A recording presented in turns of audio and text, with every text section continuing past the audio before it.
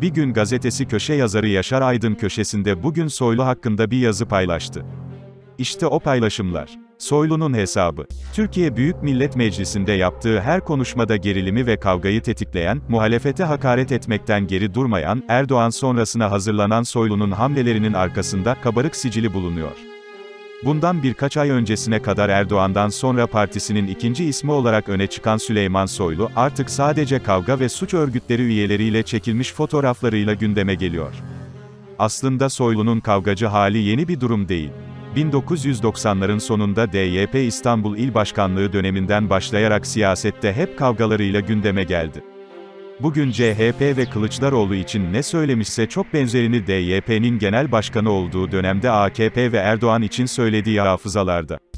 Soylu, Türkiye İstatistik Kurumu için, Tayyip'i üzmeme İstatistik Kurumu, dediği günlerde bir televizyon programına çıkarak, AKP hükümeti Türkiye'nin en çok yolsuzluğa bulaşmış iktidarlarındandır diye konuşuyordu. Ama en ünlüsü hiç kuşku yok ki, eğer tertemiz bir adamsam, eğer dürüst bir adamsam Erdoğan'dan hesap sormazsam namerdim diye bağırarak yaptığı konuşmaydı.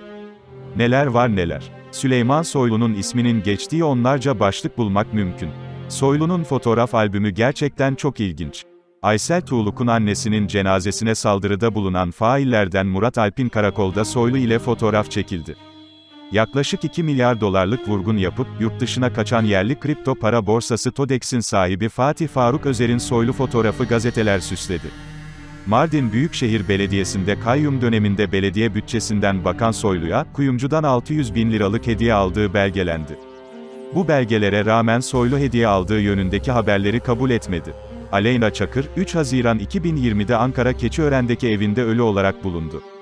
Soruşturma kapsamında daha önce Çakır'a şiddet uyguladığı anlara ait görüntüler bulunan Ümitcan Uygun'un babası Durak Uygun'la çekilmiş fotoğrafları gündeme oturdu.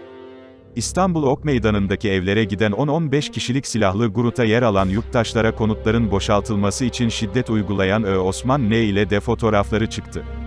Pudra şekeri ile gündeme gelen AKP'li Kürşat Ayvatoğlu'nun Soylu ile fotoğrafı olması sürpriz olmadı. Silivri Emniyet Müdürü Hakan Çalışkan'ın intiharında gözaltına alınan Hızır ve Osman Kaptan isimli şüpheliler bırakılması için baskı uygulandığı iddiasında ismi geçti. Kuzeni Mehmet Soylu'nun sahibi olduğu şirket Sağlık Bakanlığı ile ilgili yolsuzluk iddiası tazeliğini koruyor. Hem ABD hem de Türkiye'de kara para aklama ve vergi kaçırama gibi suçlardan hakkında dava açılan ve halen Avusturya'da tutuklu bulunan, Sezgin Baran Korkmaz'la ilişkisi ise en çok konuşulan konuların başında geliyor. Son olarak Soylu'nun Korkmaz'ın özel jetine binerken çıkan fotoğrafları, aralarındaki ilişkiyi bir kez daha gündeme getirdi. SBKIN sadece kara para ve vergi kaçırma değil aynı zamanda uyuşturucu kaçakçılığıyla da anılması olayı daha da ilginç kıldı. Soylu, 10 bin dolar rüşvet alan milletvekili var demesine rağmen bugüne kadar hiçbir şekilde savcılığa gitmedi. Soylu'nun Veys Ateş ve Özışık kardeşler gibi bazı davalarda arabuluculuk yaptıkları iddia edilen isimlerle ilişkisi de burada yazılabilir. Yazının başında da söylediğimiz gibi Soylu Parti'nin ikinci adamı durumuna kadar yükselmişti. Hatta Berat Albayrak'la girdiği mücadeleden galip çıktığını düşünenlerin sayısı da çok fazlaydı. Üstelik arkasında MHP lideri Devlet Bahçeli'nin tam desteği varken, merdivenleri tırmanması zor olmadı. Ama son birkaç aydır yaşananlara bakılınca, ortaya saçılan bilgiler ışığında suç örgütü elebaşısı Peker'in ifadesiyle, başkan olma şansa kalmadı denilebilir. Hatta o kadar ki Soylu'nun artık partiye zarar verdiğini düşünen AKP'lilerin sayısı hiç de az değil. Saray cenahında da durumun çok farklı olmadığı biliniyor. Ama hem Bahçeli'nin desteği hem de yaklaşan seçim Erdoğan'ın elini fazlasıyla bağlamış durumda. Sonraki döneme hazırlık. Süleyman Soylu'nun ne AKP içinde ne de, farklı düşünenler olsa bile MHP içinde başkanlık şansı kalmadı. Bununla birlikte siyasetten çekilmeye de niyeti yok. AKP'den ve MHP'den kendine yakın isimlerle bir arada durarak siyasette bir geleceği olabileceğini düşünüyor. Hem Erdoğan hem de Bahçeli sonrasına hazırlanıyor.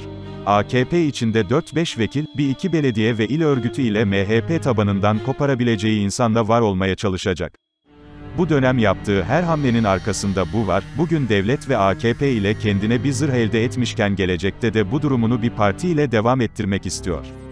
O yüzden Soylu'nun tazyikine ve gürültüsüne hep birlikte bir dönem daha maruz kalacağımızı şimdiden söyleyebiliriz.